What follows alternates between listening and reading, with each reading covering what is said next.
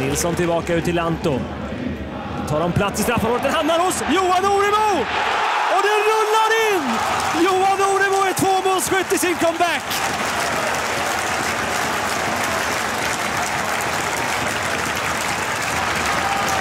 Men det är ju ett Djurgårdsförsvar också som fallerar två gånger om. Ja, det är ett Djurgårdsförsvar som påminner om så som det såg ut precis innan det här landskampsuppehållet som kom. Och återigen så är det en boll återerövring från Gävle som kommer ifrån det. Sen har man en rejäl tur såklart. Dio Williams snubblar fram bollen, men Oremo återigen rätt man på rätt plats. Och är obarmhärtig mot sin förra arbetsgivare, får vi säga så. Ja, det får man säga. Titta när bollen rullar in.